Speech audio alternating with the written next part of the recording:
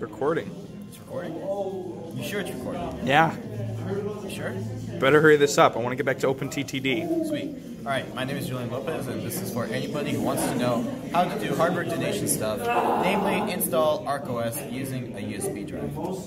Now, in order for this to work, you need to have a USB pen or drive or whatever you call these things that already has ARK USB on it. Well, but if for the Ro students at Roosevelt, we'll already have provided these to you. But to anybody else, uh, we'll probably make a tutorial on that at some other time. First step is that you plug the USB drive into, you don't need to go in that much, into a computer, make sure it's secure, and then here's the next step. And this is the probably the most complicated uh, step of the entire thing.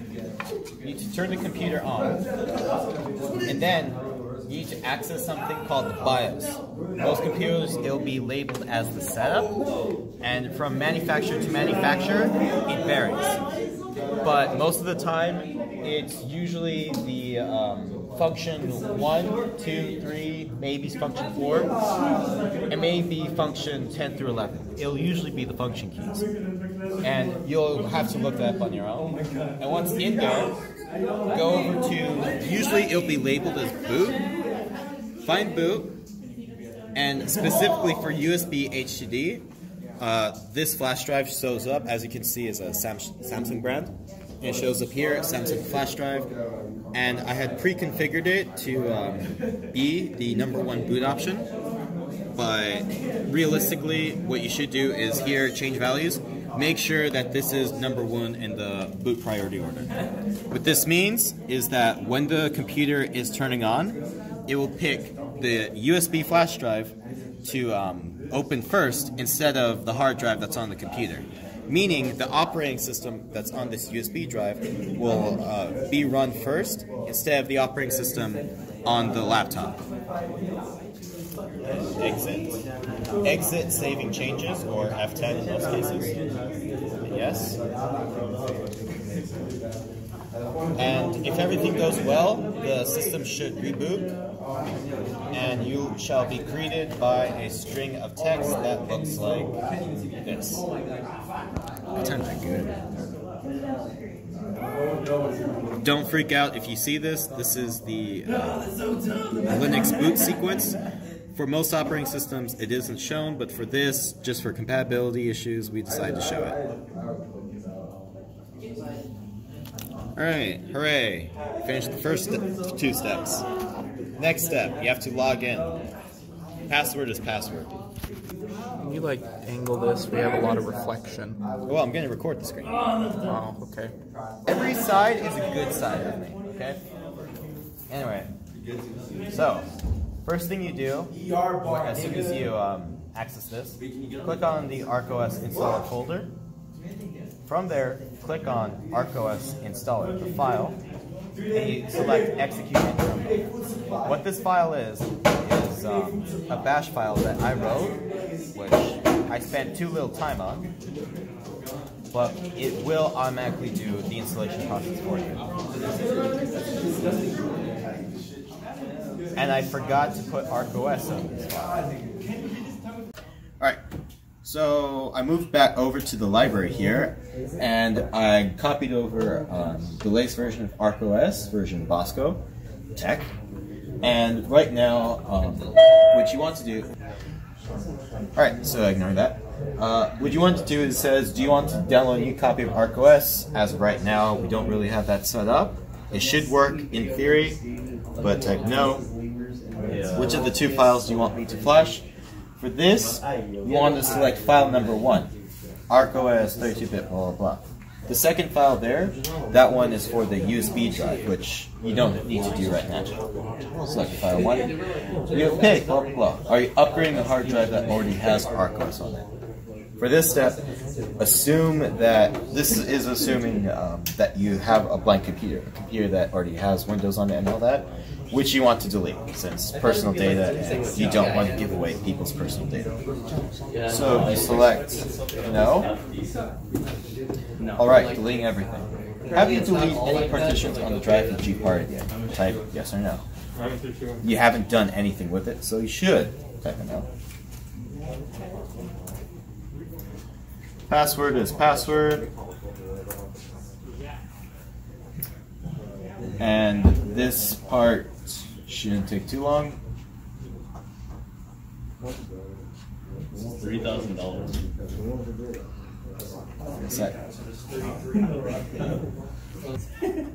Alright, so going back to um, this after it loads, what you see here is dev SDA1. What you need to know is that on Linux, uh, different hard drives are labeled starting with SDA-A, SDA-B, and so on. You click here, you'll see that there's dev SDB, and right now I'm using a 32 gigabyte USB drive, so you can tell that SDB is the USB drive. And generally, SDA is the hard drive on this computer. Yeah, a little bit. That's the hard drive that you want to erase and install Linux on. Look at that.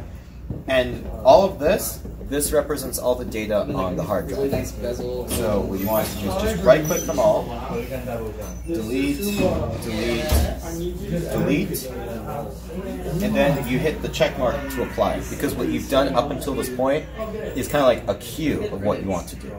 Want to, not have done. With this, you'll apply it. Apply. And, oh, that was really fast. Alright, so after you're done with that, everything should say unallocated, which means that there's no data on there for the most part. Just close that out. Did you delete all partitions? You should say yes, since you know you deleted stuff. And remember what I said earlier about the Linux uh, disks? You can tell, you can generally guess here which um, disk, uh, which SDA relates to what. SR0 usually relates to a disk drive, which this computer does have. So you should be able to tell that the one you want is SDA. Hit enter. Type in your password, which is password. Enter. And you have started the drive flashing process. Really, that was very helpful. Okay, so now you get this pop-up and you're like, hmm, what is my password? What could the password possibly be that I have not repeated at least three times before? So after you put that in there, Why not ask you and pick a change? you agree by this, and now it's time to explain what this is showing. Lay on my one So this is showing the um, disk space, I mean the um, hard drive on this computer, not the uh, USB drive.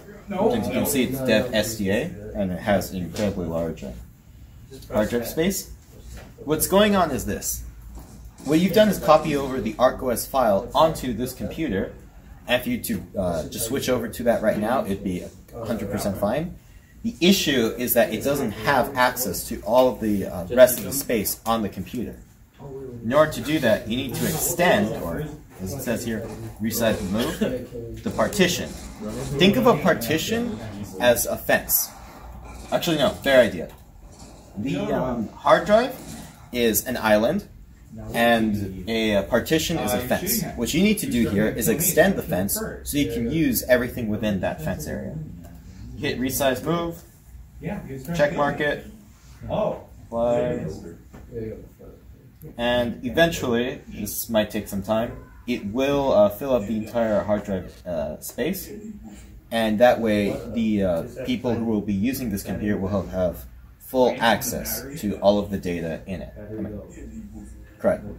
Um, the user will have full access to all of the hard drive space, not data, space, Come with me. on this hard drive. Then you just exit out of this, and it closes automatically, and that's it. For the final step, you turn this off. You hit the power button. Get the ARK USB shut down. Give it a sec.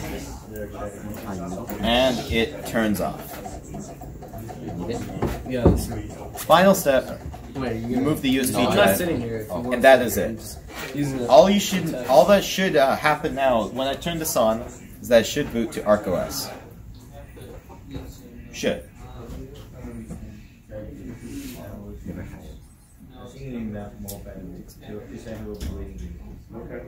So you've been the Gibbon. Peter, go back to playing train games. No, no, no. Oh, oh, Still here we recording? go, Here we go. This, that I think, is supposed to be- Peter, just play OpenTTD. You're not allowed to play any other games. Oh, True. and voila. You get the ARK OS booting screen for version Bosco Tech, and that's it. This laptop is for the most part ready to deliver. There will be other step, another step that we will make a video about eventually. But for the most part, this is all you need to know. And in case you need to know, the default password is password. Password. No. Voila, you have a computer that's ready for people, kids, whatever to use.